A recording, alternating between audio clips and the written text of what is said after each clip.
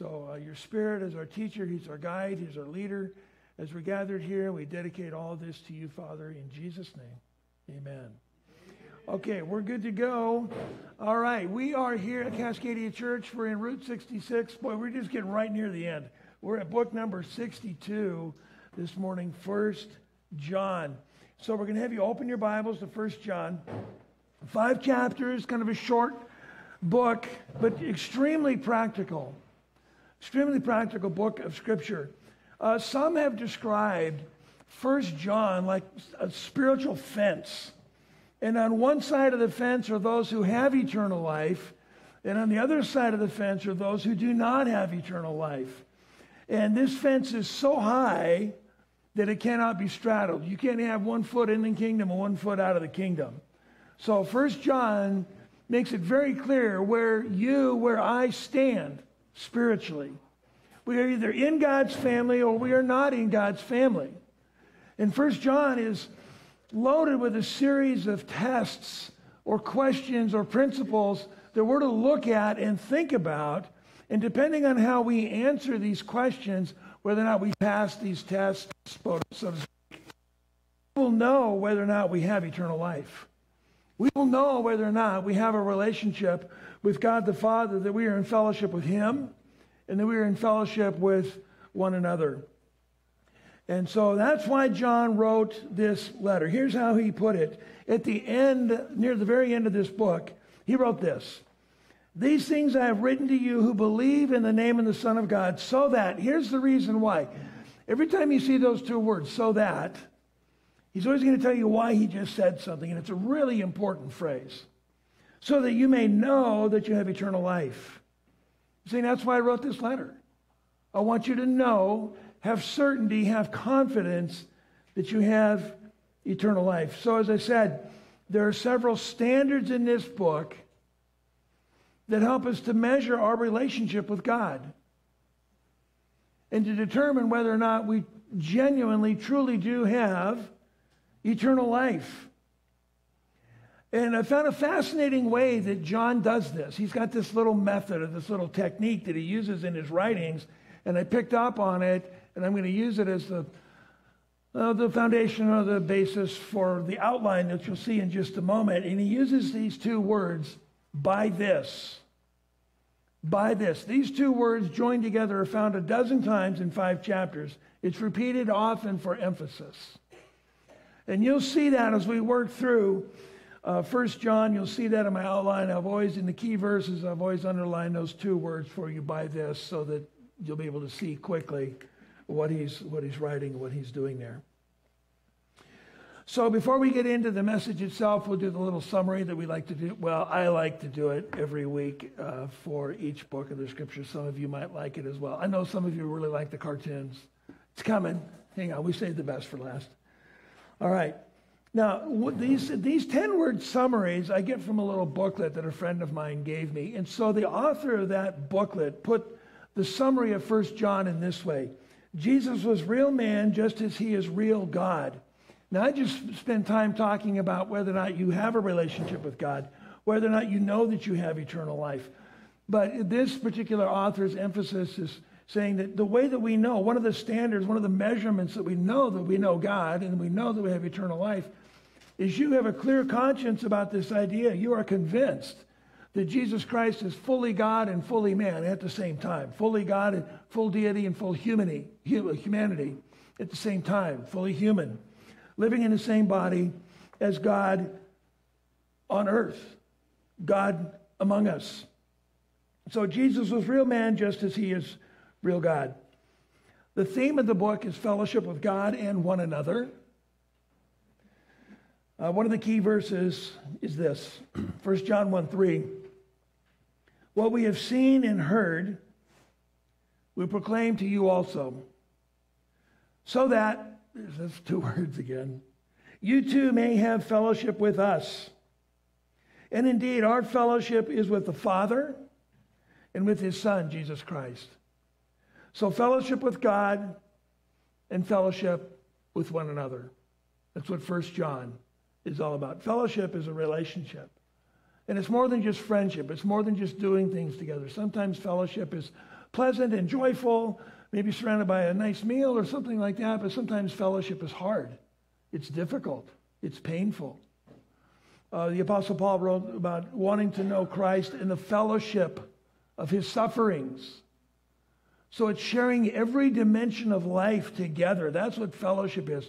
Starts in our relationship with God, and then it works out in our relationship with one another. As Joanne and I pray for people every day, Joanne and I pray together.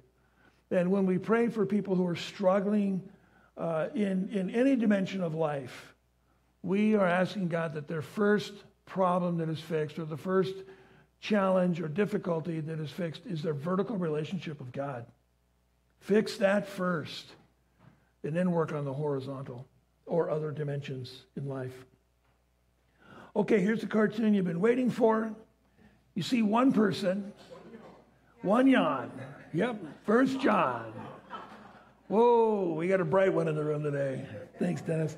So what's he? What's he? What's he? Mr. Hotshot, what's he tinkering with? It's a fellowship barometer. Yeah, it's measuring the degree, or it may be a fellowship thermometer, either way, measuring the degree of fellowship, either with God or with one another. So that's what First John is all about. It's a fellowship barometer or fellowship tool, fellowship measurement. How close did you come to figuring that out this week? None at all? Okay, all right. Good. Well, I just keep you guessing. How many people will be yawning next week?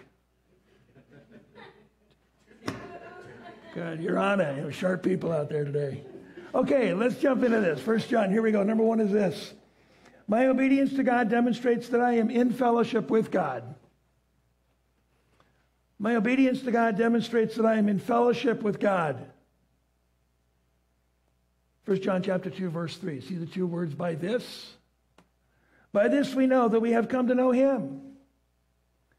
If we keep his commandments. How do you know you have a relationship with God? You do what he says. You do what he tells you to do. This is the first, obedience is the first measurement of fellowship with God. And the first way to measure whether or not you really have eternal life. And what he's focusing on here is whether or not you're listening to God. Does what he have to say to you, does it matter? And if you're hearing him, are you doing what he is saying? You hear God when you read his word, the scriptures. You hear God when you pray. You hear God when other people speak to you about spiritual things. So John is stating simply and clearly, right out of the starting gate here if you're not obeying God, it's more than likely because you don't know him. That's a very serious spiritual problem. Or it simply could be that you know God, but you're out of fellowship with Him. And John mentions that this is a dangerous place to be to know God, but not be obedient to Him. Now, careful, we want to re- realize this. John is not saying that if you know God, you will never disobey Him. He's not saying that if you know God, you will never be disobedient, or that you will never sin. He's not saying that. We all sin. And we will until we are completely transformed when we see Jesus Christ, when we are ultimately glorified or sanctified, when we are completely transformed when we see Jesus.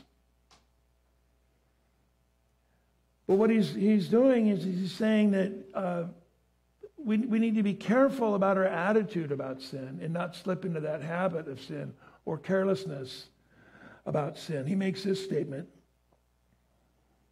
1 John 1 8. If we say we have no sin, we are deceiving ourselves and the truth is not in us.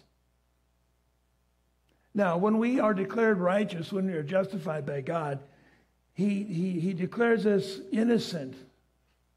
But that doesn't mean that we never sin or that we have not sinned. Some people say to be justified, which means to be declared righteous, means that it's just as if I'd never sinned. Justified, just as if I'd never sinned. Not true. I mean, it's clever, it's kind of cute, but theologically, it's not really sound. We have sinned. We do sin. We will sin. And we need to be careful about that. Here's another one, chapter 3, verse 8. Those who, the one who practices sin is of the devil. In other words, if this is your habit, your lifestyle, this is your default in life, is sin. Uh, that comes from Satan. No one who has been born of God practices sin. He doesn't say you never sin, but sin is no longer the habit of your lifestyle. Because God's seed, the source of life, remains in him or in you, and he cannot sin continually because he has been born of God. He's got a brand new life, a brand new nature, a brand new relationship. All the old is passing away, all the new is happening and it's coming. So the point, here's the point. Here's, I think, a good way to illustrate this. Before we met God, uh, sin didn't matter. In fact, sin was entertaining. Uh, sin is something that we enjoyed. Sometimes sin is what we were looking for. We created opportunities to sin. That is not characteristic of a child of God. The grace of God draws us or repels us from the desire and the fulfillment of sin, draws us away from temptation toward righteousness, toward obedience toward God. That's the point that John is making here. You know, back before we knew Christ, sin was entertaining. We thought it was sin that was making us feel free and, and carefree and all those kind of things. We just sinned whenever we wanted, not knowing that in reality we were slaves to sin. We were enslaved, we were in bondage. We didn't know it until we realized that it's at the cross where Jesus sets us free from the power and the penalty of sin. Not the presence of sin, but the power of sin and the penalty of sin. Presence of sin will be eliminated later down the road when we see Christ when we're with Him. And so now, this is, this is really important. Now that we know God, we want to sin less. We want to be free from temptation. We want to be sin free if we can. And that's the new direction in life away from temptation. Uh, here's another verse in another dimension on this same kind of point, chapter 2, verse 5. By this, we know that we are in him. The one who says that he remains in him ought himself also uh, to walk just as he walked, just as Jesus walked. When the scriptures uses that word walk in a spiritual sense, it's talking about your lifestyle. It's your lifestyle. And Jesus' lifestyle was to always obey his Father. So when John says we're, we should walk in the way that Jesus did, our desire, our focus, our passion ought to be to always be obedient to our Father. Always be obedient to God. Here's how Jesus said it John chapter 4, verse 34. My food is to do the will of him who sent me. That's what sustains me, is obedience. It's a remarkable statement. I do not seek my own will, but the will of him who sent me. John 6 38. I have come down from heaven not to do my own will, but the will of him who sent me. So Jesus is not only emphasizing his focus of obedience, but he, he understands why he was sent. He mentions it in all three of these verses. God sent me. And we, in the same sense as well, in a different sense, but in a similar sense, God gave us life. He made us. He saved us. He gave us new life. And now we are sent ones to be living in obedience to God the Father. So all this is about us knowing that we know God because we want to be obedient to Him. That is a desire that Christ followers have. Non Christians don't have that desire. I didn't have that desire before I met Christ. Sin, big deal, it was fun. But now uh, I don't like it as much. uh, you know, sometimes sin is pleasurable. The scripture says there's pleasure in sin, and we all sin. But it is certainly a whole different attitude than it was before I met Jesus. Here's another dimension to obedience, number two. My love for others demonstrates that I'm obedient to God. My love for others demonstrates that I am obedient to God. See chapter 3, verse 10? By this, the children of God and the children of the devil are obvious. Anyone who does not practice righteousness is not of God, nor the one who does not love his brother and sister. I want you to see, first of all, especially as we're starting to get into election campaign cycles and all that kind of stuff, uh, we are not all children of God. You will hear probably every uh, politician running for office say, We're all God's children. We are not all God's children. We're all made in the image of God. That's a different thing. But the Word of God right here says some are children of the devil and some are children of God. What's the difference? The difference is that the child of God wants to practice righteousness. I'm especially concerned when I hear people who do not practice righteousness say that we're all God's children. That's especially troubling, and at least it is for me. The difference between a child of God and a child of the devil is one lives for others and the other lives for himself or herself. Chapter 3, verse 18 reads this way Little children, let's not love with word or tongue, but indeed in truth. We will know by this that we are of the truth. And will set our hearts at ease before Him, that if our heart condemns us, that God is greater than our heart and He knows all things. Well, that's a challenging verse. What does it mean? Let's unpack it. I think it's a really important verse. We need to, first of all, understand that the context of this verse is that we are commanded and compelled to love in deed and truth. That is God's will. It's God's will for us. And that marks the child of God, that marks the believer. But there are times when our heart condemns us. For what reason?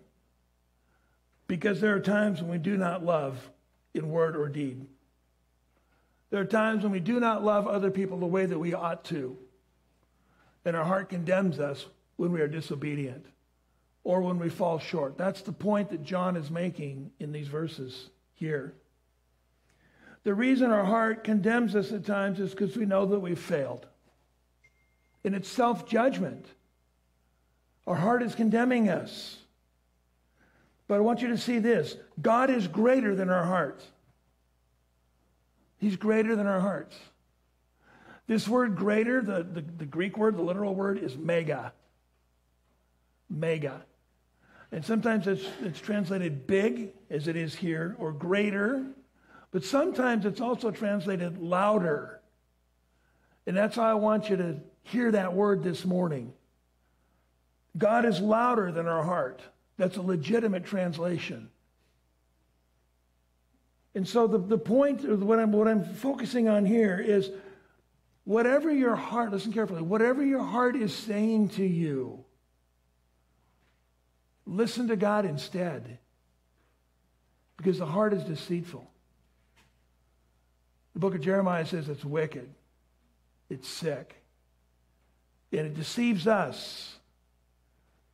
We talked recently about the danger of following your heart, listening to your heart. No, you listen to the Word of God, you listen to the voice of God instead. And as you do, when you know that you're to love one another in word and deed, and we fall short of that, and we have a tendency to, to condemn ourselves or to judge ourselves or to be hard on ourselves, and our, and our heart is condemning us uh, need to realize that God never condemns his children. He will convict them, and he will comfort them, he will rebuke them. But there's no condemnation for those who are in Christ Jesus, what the Word of God says. So if you listen to what God says about your failures, here's, here's what you're going to hear. This is the Lloyd paraphrase, okay? So you got to got to work with me a little bit. When you tell God about your failures, I think what you're going to hear from Him is going to say, I'm glad you know that you failed. Because I know that too. I know everything about you, and I still love you. I know who you are, and there's nothing you can do that is hidden from me, ever. Don't try to hide it. It doesn't work. You can't do that. I know that you're struggling because you failed. And I'm glad you're struggling because that shows me you're uncomfortable with your failure and you would rather succeed. See, this is the heart of a father, a compassionate father. And he says, the reason it matters to you when you fail is because you want to do better. That's why our heart condemns us, because we know we can do better. We know we should have done better. And if you continue to listen to God, He's going to say things to you like, I'm here to help you because I love you. That's the voice you want to hear. That's the voice of God. So your love for others will demonstrate your obedience to God. And, and when we don't do that, when we fail, um, the fact that your heart condemns you shows you, demonstrates to you that you want to be obedient. If you didn't know Christ, it wouldn't matter. Who cares? But if you know Jesus, it matters. And your heart is condemning you, but listen instead to the voice of God. So don't be hard on yourself. I often say, I often say to people when I struggle, when, when I talk with them about struggles and failures and things, I say, say, learn from it, but then turn from it. That's why Jesus often told people, I forgive you. Now stop sinning. Go. Sin no more. You're free. See, that is the heart of God. The heart of man is so different.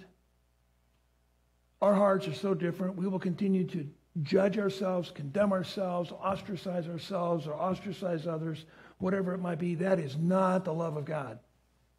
It's not the love of God.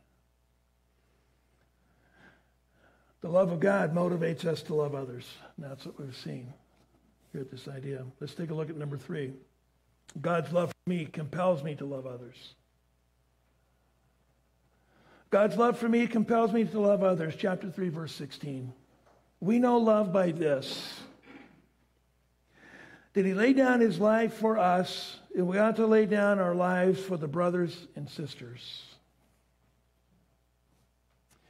Uh, laying down one's life for another person is the ultimate demonstration of love. And it's rare. It's a rare sacrifice. We know that often uh, our military personnel will lay down, lay down their lives for you and for me. And we are so grateful that they love us that much. Occasionally, a police officer or a first responder will lay down his or her life for those that he or she is trying to rescue. I think about 9 11 and all the first responders that lost their lives trying to help others. Laying down one's life is the ultimate sacrifice. And love often requires sacrifice. Look at the next verse. It's not coincidental that he puts the next verse next. Whoever has worldly goods and sees his brother or sister in need and closes his heart against him, how does the love of God remain in him? It's not a random or arbitrary statement that he makes right after 316. These two ideas are connected. You know, some might say that they're willing to lay down their life, but they find it extremely difficult to lay down $5. That's what John's saying here. You can say you're willing to lay down your life all you want, but if you see somebody with a need and you don't do anything about it, even a simple physical need, how can you say the love of God is in your heart? You know, I think about this idea and I remember that uh, back five years ago, Joanne and I were in Blytheville, Arkansas, where my dad was born, spent the first few years of his life. Pulled into the hotel, and there's a truck in the parking lot with his hood up, and somebody stuck a $5 bill in the windshield wiper just to help him out a little bit financially with whatever it's going to cost to fix your truck. And I thought, that's pretty cool. That's really cool. Somebody just helping a stranger, just being a neighbor, even if it's just a little bit. I'm sure it helped the person that owned the truck, but it sure impacted me. I've never done this, but maybe I should someday. But it's the idea here that's exactly what John is saying. If you've got the capacity to help, and you can, you should. Isn't that what Jesus did? Of course. He's our example. And even something simple can be transformational. So, interesting connection here between loving others and obeying God. By this we know that we love the children of God when we love God and follow his commandments.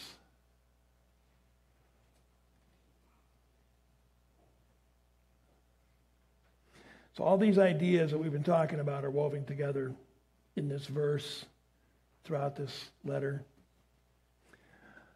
I had a student approach me one time. I have an opportunity to teach in a couple of different places, a couple of different schools, short term, different places, different times. A student came up to me one time and said, We don't know each other that well, uh, but I know you love us uh, because God told you to come here and teach us, and you did what God told you to do. And, and I know that you love us. That's why you're here, is because you love us. I thought, wow.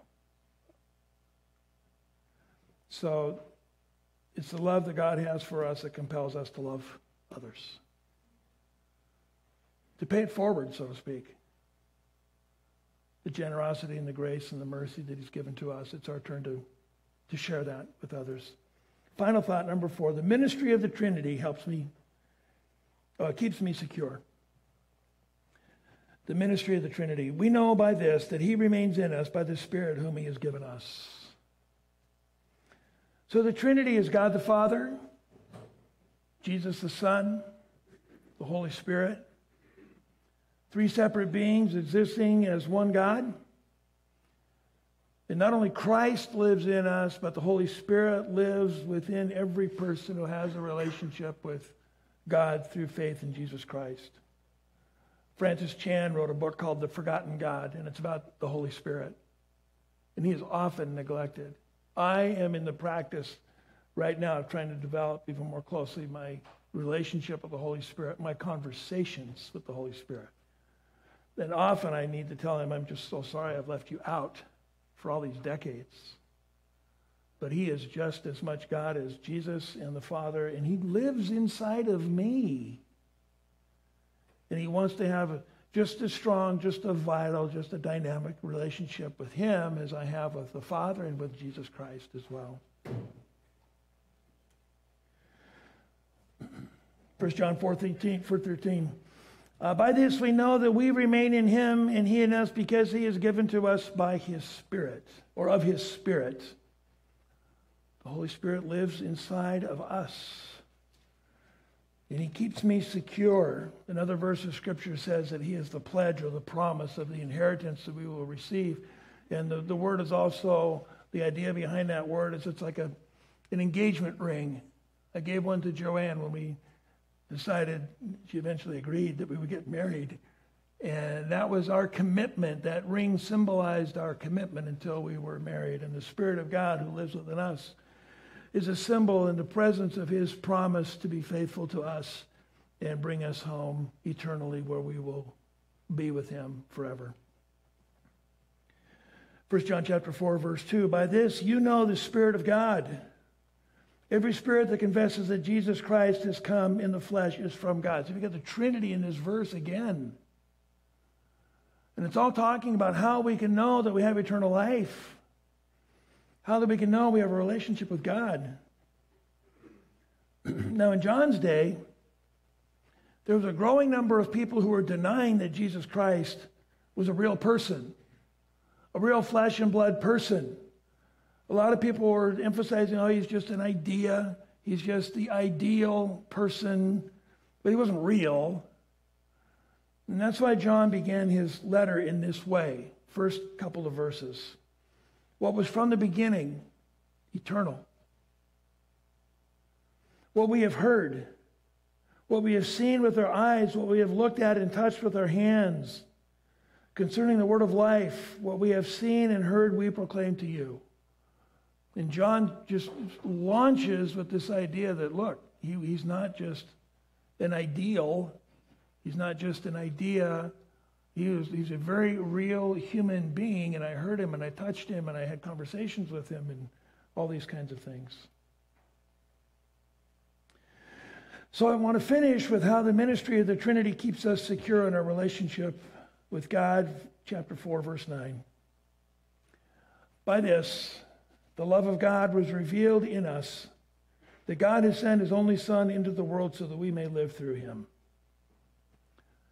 So it's the love of God that gives us physical life. The love of God gives us spiritual life. Um, I had a conversation recently with a man who believes in God and the universe and those things. Listen, the universe has never done anything for you. Nothing. The universe is, is, is, a created entity, it's inanimate, it doesn't have a will of its own. Uh, the, the, the universe did not give you life. We are not here by just some random accident that people call evolution.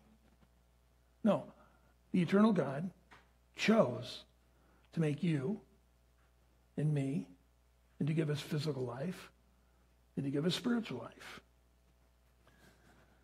And so uh, he is the only source of physical and spiritual life. And he keeps us. He keeps us secure. So it brings us to our takeaway for this morning. Suggested takeaway, 1 John 4 13. We know that we remain in him and he in us. We know this. Eternal life is eternal. Eternal life is not temporary, and I hope you make it through the rest of it, whatever it might be. No, eternal means eternal. He uses that phrase, eternal life, several times in this letter. So God is the one who holds us. However, He's given us a free will, and we have the propensity to wander at times. Don't wander. Don't do that. It's not worth it. He loves you so much. He wants to embrace you. He wants to hold you. He wants to stay near. He wants you to stay near. Let him draw you near. Stay near. Enjoy his relationship. Enjoy the fellowship. The alternative is devastating and damaging and just a waste of time, a waste of eternity. So enjoy the presence and the love of God today, tomorrow, every day of your life, into eternity. John says you can know whether or not you have that. If you have the Son, you have life. Let's pray. Father, you, the eternal God, and you, Jesus, and you, Spirit of God, have always existed. And in your plan, uh, you chose to create the universe out of nothing and to give life to each one of us and you desire to give eternal life to anyone who will say yes to what Jesus did for us at the cross. In your word, the scriptures, the Bible make it very clear that once we say yes, we transfer out of life into death, out of darkness into light, out of death into life, out of darkness into light. And uh, we know you, and you live within us forever. That will never change. And we're grateful that we have that confidence. We're grateful we have that assurance. We want to sing about that. We want to celebrate your love for us, the desire that you have to be intimate with us, to spend time with us personally, corporately, whatever that might be, at whatever time and whatever way. So thank you, Father, for loving us the way that you do. Thank you that we get to sing to you and with one another about that receive this as our just one of the ways that we tell you, Father, that we love you, Jesus, that we love you, Spirit of God, that we love you. And I pray in Jesus' name. Amen. Let's say goodbye to everybody. Here we go.